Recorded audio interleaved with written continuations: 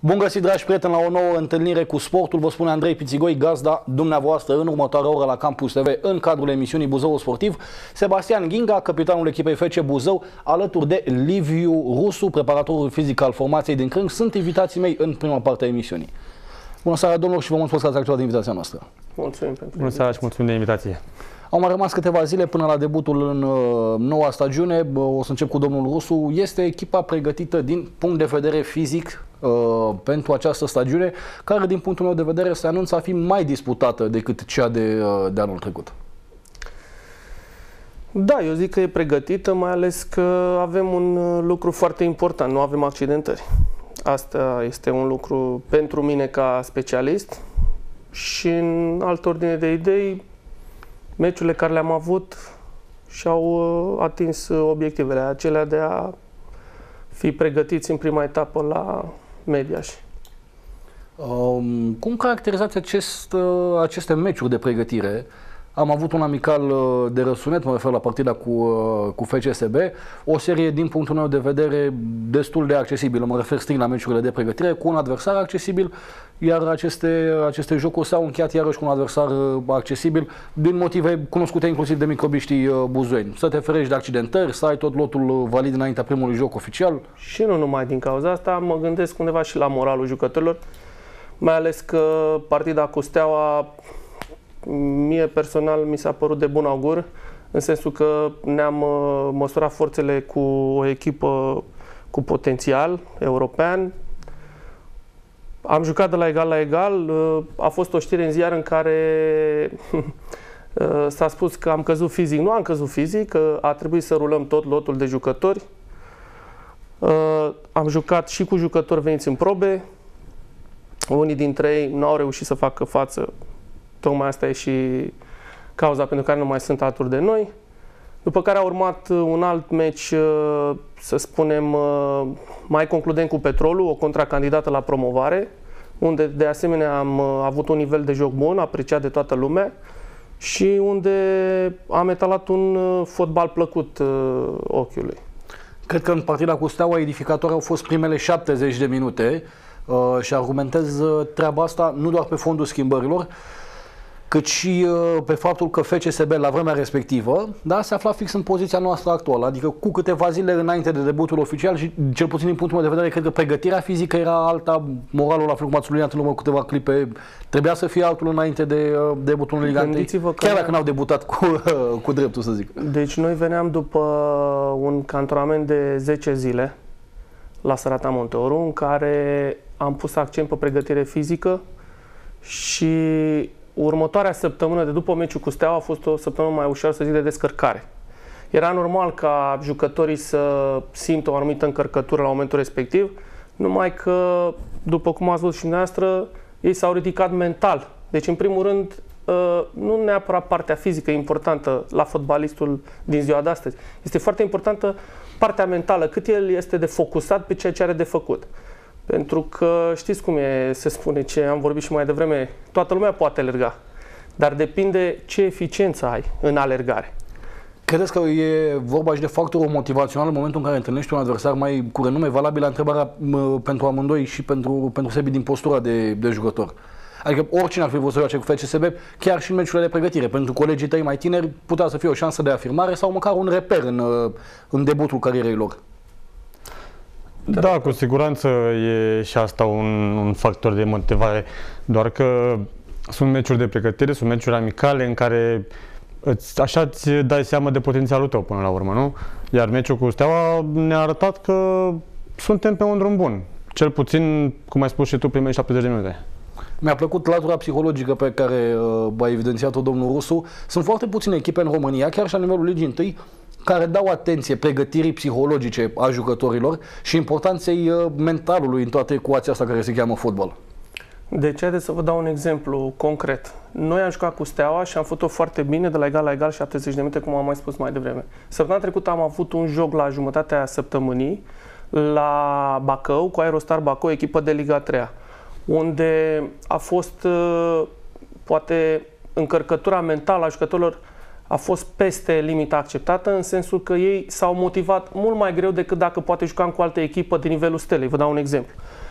Deși nu am pierdut, s-a văzut că a existat acea diferență de ritm sau de reușită, hai să spunem mai... Da, privind probabil prin prisma diferenței valorice dintre Exact, dintre și motivația jucătorilor. Mult mai greu se uh, automotivează un jucător în momentul în care joacă cu o echipă de rang Subcotate, inferior, exact. ceea ce s-a întâmplat cu Aerostarul în uh, meciul cu noi. Adică ei s-au pus în impostarea în care am fost noi cu FCSB-ul.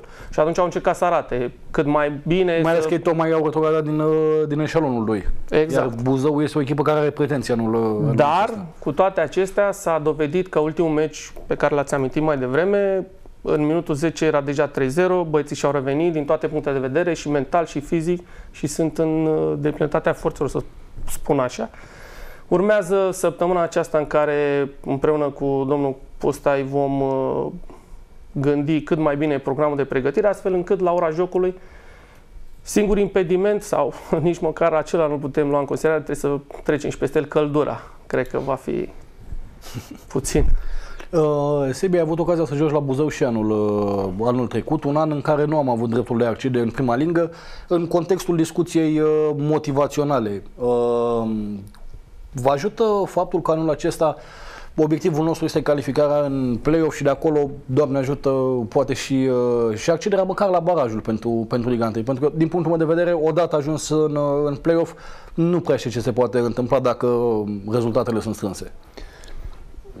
Da, deși putem pune ca și un alibi așa, nu ar trebui să, să fie asta o scuză. Faptul că n-am avut noi de promovare, asta ar fi doar așa, am spus, un alibi. Uh, faptul că acum ni s-a dat, cu atât mai mult trebuie să, să dăm dovadă că ne dorim asta, că putem face asta, să demonstrăm că putem să facem asta, iar cei care ne-au contestat, în, sau mă rog, care au fost mai vehemenți împotriva noastră anii precedenți, uh, acum să nu mai aibă nimic de spus uh, la adresa noastră. Din punct de vedere valoric, ca o comparație între lotul actual și cel de anul uh, trecut, crezi că cel din prezent este superior uh, celui din perioada în care echipa era antrenată de Ilie Stan? Spun asta în contextul uh, obiectivelor destul de înalte, zic eu, pentru că și anul trecut ați avut iarăși ca obiectiv calificarea în, în play-off și ne-am trezit cu ceva emoții, dacă, dacă mă întreb pe mine. Da, e greu să, să fac o evaluare eu, sau cel puțin nu sunt în măsură să fac o evaluare Cert e că și anul trecut și anul acesta au fost jucători buni, jucători uh, de calitate, atât umană cât și fotbalistică. Mai departe, să fac eu evaluarea lotului, nu cred că e treaba mea. Dar avem șansa anul ăsta pentru play-off.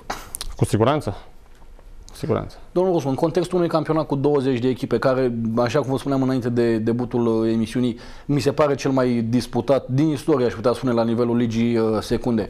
Cât de mult credeți că va conta uh, pregătirea fizică și dacă poate face uh, diferența între anumite momente ale campionatului? Vreau să vă întreb un lucru. Anul trecut nu spuneați la fel? Având în vedere Anul trecut... echipele care au, s-au aliniat la start, vă spun eu, era la fel, exact același lucru. Da, dacă privim prin dacă prisma rezonanței numelor și așa mai rapid, departe. Rapid, exact, exact, deci, exact. Craiova și așa mai departe. Uh, este o luptă de anduranță.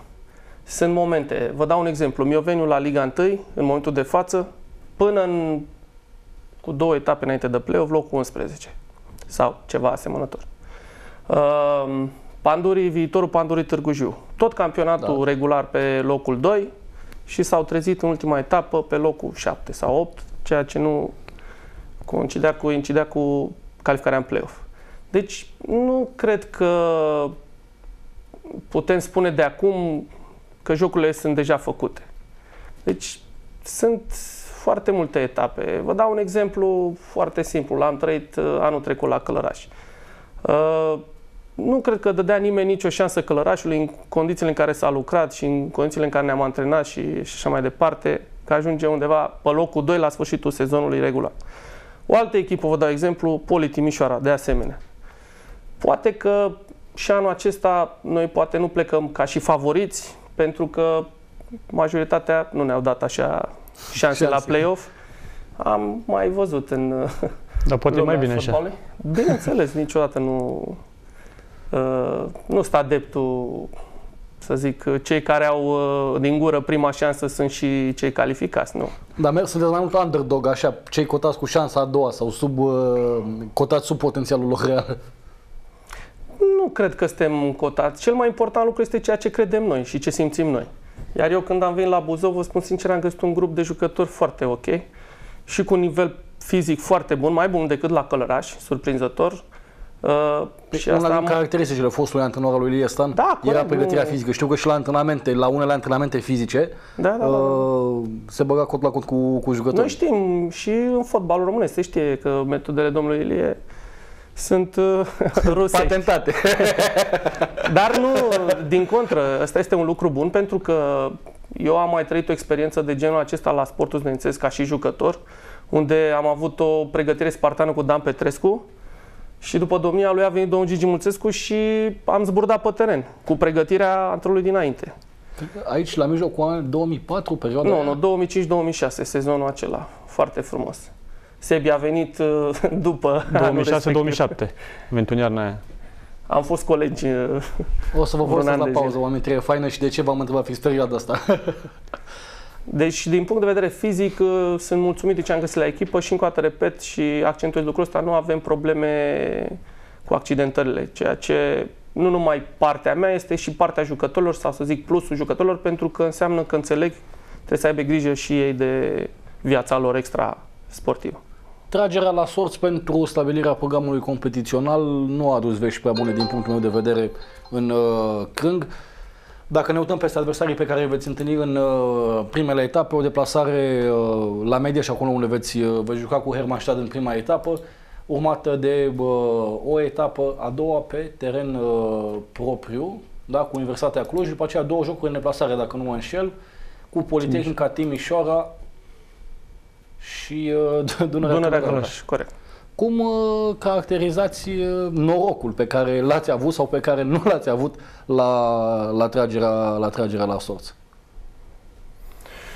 Eu nu l-aș considera noroc sau nenoroc. Norocul și-l face omul cu mâna lui, cum se spune, e o vorbă bătrânească, dar uh, consider că să spunem 50-50, adică depinde de la momentul disputării partidei de forma sportivă pe care o găsim și noi și adversari. Deci nu cred că putem spune de acum. Pentru noi să zicem că e un început dificil, dar în același timp dacă îl gestionăm foarte bine, putem să, să luăm o opțiune serioasă și nu numai în clasament, dar și ca moral al echipei. Știți cum se spune, un jucător când câștigă, vine cu altă plăcere la antrenament. Și atunci toată lumea... Victoriile aduc victorii. Exact. Victoriile aduc victorii. Numai că trebuie să fim ponderați, să fim uh, conștienți de importanța debutului, să abordăm meciurile foarte inteligent și să acumulăm puncte, că de fapt așa se pune problema. Sebi, părea vestiarului despre programul convențional. Da, dacă ne uităm puțin la numele echipelor care jucăm în startul ediției, poate că ne-am fi dorit altceva, având în vedere că mai avem nevoie de omogenitate, poate poate acolo să fie un pic de haos, așa să zic.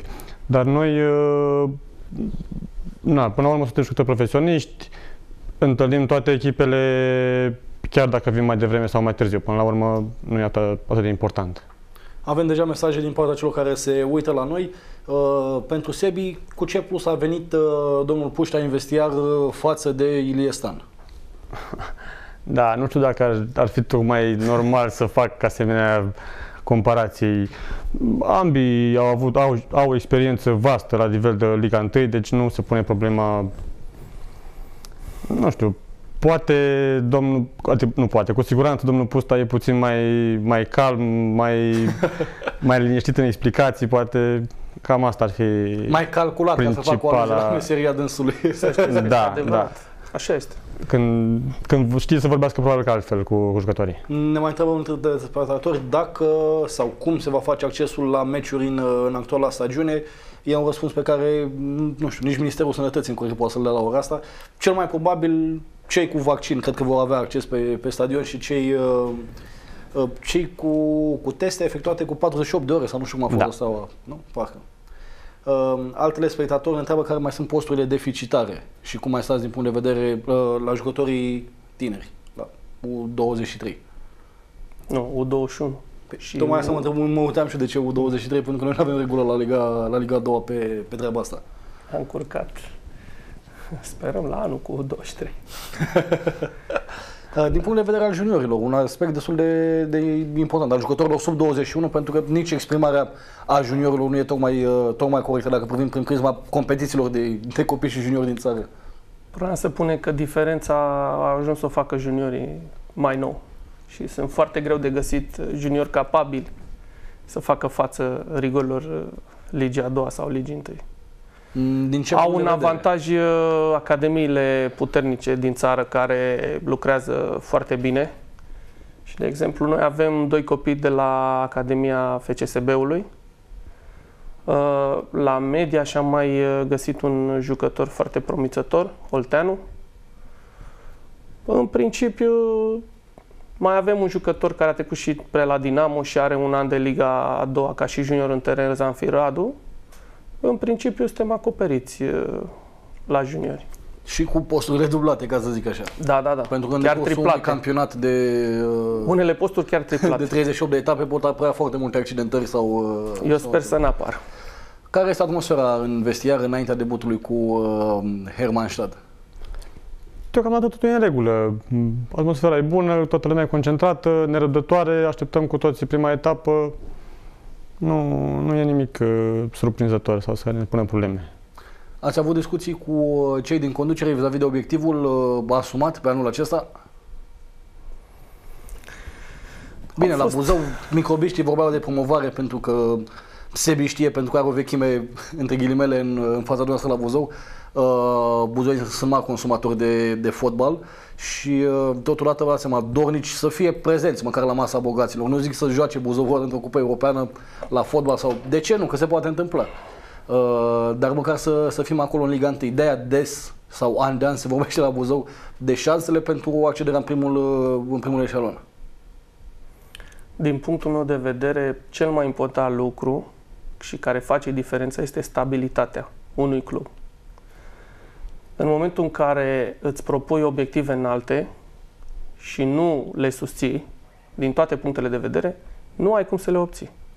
În momentul în care ești echilibrat, îți propui obiective înalte și le susții la un anumit nivel, conform ligii unde își desfășori activitatea sau nivel, cred că ai șanse de reușită.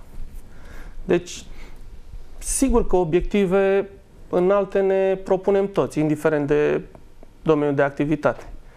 Dar sunt foarte mulți factori de care depind îndeplinirea acestor obiective. Noi sperăm să reușim să ducem la bun sfârșit uh, munca la care ne-am angrenat și să îndeplinim, uh, eu știu, dorința oamenilor din Buzău. Mi-a plăcut uh, o declarație pe care domnul Pustă a avut-o pe, uh, pe subiectul ăsta. A fost una dintre primele întrebări, bineînțeles, cu care s-a confruntat când a venit la Buzău. Uh, n-a fost o, o declarație bă, entuziasmantă sau să spun exact ceea ce și-ar fi dorit deopotrivă suporterii sau jurnaliștii să audă, dar reanalizându-o îți dai seama că a fost o declarație uh, realistă. A zis că necesită cel puțin 2-3 ani pentru realizarea unei uh, echipe omogene din toate punctele de vedere. O, practic e nevoie de 2-3 ani pentru realizarea unei echipe competitive care să se bată cu șanse reale pentru accederea în, uh, în Liga 1. În mod cert nu e ceea ce au avut suporterii să audă care an de an, v-am zis și mai devreme, își doresc să, să vadă promovarea la Buzău sau măcar să fie anunțată ca, ca obiectiv, dar ca om de sport, ca om de fotbal mi s-a părut o, o declarație așezată cu picioarele pe pământ și foarte, foarte realistă în contextul dat de la, de la Buzău. Sebi a făcut o declarație mai devreme foarte adevărată. Domnul Pustă este un tip foarte echilibrat și eu îl cunosc de vreo 2-3 ani de zile și am învățat foarte mult de la dânsul, în sensul în care trebuie să fii mai ponderat în declarații și să analizezi mult mai mult înainte să scoți pe gură ceva. Deci dânsul știe cu experiența dânsului foarte, foarte bine de ce a făcut această declarație. Pentru că gândiți-vă că are niște promovări și niște participări în cupe europene cu niște echipe al căror nume nu spuneau foarte mult în fotbalul românesc. Dar munca depusă și felul în care a uh, escaladat etapele au adus uh, rezultate. De aceea a spus dânsul acest lucru și o să vedeți că felul în care a vorbit este foarte corect. să dea Domnul să ajungem să, să ne luptăm pentru, pentru Liga 1, chiar și peste 2 ani, asta în contextul unei, unei declarații realiste. Te rog, Sevi. A, știi cum e, că lucrurile solide de obicei se construiesc în timp. Chiar dacă noi ne dorim să Asta e o, o afirmație universal valabilă în orice domeniu, în orice relație interpersonală da, n-aș vrea să pară un stereotip, doar că e cumva normal. Cu toții ne dorim peste noapte să facem, nu știu, wow, ceva, ceva să măreț. Să final al ligii. Da, doar că din păcate Na, nu prea să pot realiza lucrurile astea. O ultimă întrebare uh, pentru ambii. Pe cine uh, vedeți contracandidat uh, la, la play-off? Sau mai bine zis, care uh, credeți că vor fi echipele care se vor lupta pentru, pentru play-off? M-am mutat mai devreme peste achizițiile făcute cam de toate echipele din, uh, din Liga a doua. Majoritatea s-au întărit, uh, în fine, și după posibilitățile materiale și uh, după alți factori care uh, țin mai mult sau mai puțin de, de fotbal dar în mod cert va fi, uh, va fi o stagiune disputată. În ochii voștri, care sunt echipele care credeți că se vor lupta pentru, uh, pentru primele șase poziții sau pentru primele patru? Cele două care duc direct în Liga 1 și cele două care duc la baraj? Știi cum e? e pot apărea oricând surprize și, și echipe care să, să producă surprize. Privind așa puțin numele celor care, care, care se dispută, uh, Uh, nu știu, un Cluj, un Herma, Hermastad, uh, Cixereda are o pretendentă. Noi, bineînțeles, Doamne ajută. uh, da, sunt echipe care, care cu siguranță vor pune amprenta în acest campionat. Domnul Rosol? Nu, cred că sunt echipe dinainte stabilite. Vom vedea. Lupta e deschisă. Am avut, uh, am avut un pariu cu cineva de la club zilele trecute, am zis că Unirea Dej va fi una din surprizele uh, campionatului Ligii, Ligii a doua. O echipă nouă, promovată, micuță, cred că dumneavoastră vă este mai, uh, mai cunoscută. Vă mulțumesc uh, pentru prezență. Dragi prieteni, uh, ne revedem în câteva minute cu cea a doua parte a emisiunii, atunci când alături de noi uh, vor fi Georgian Băducu, președintele echipei locale de handbal masculin, alături de Răzvan Voicu, team managerul celor de la HC Buzău 2012. Revenim în câteva clipe.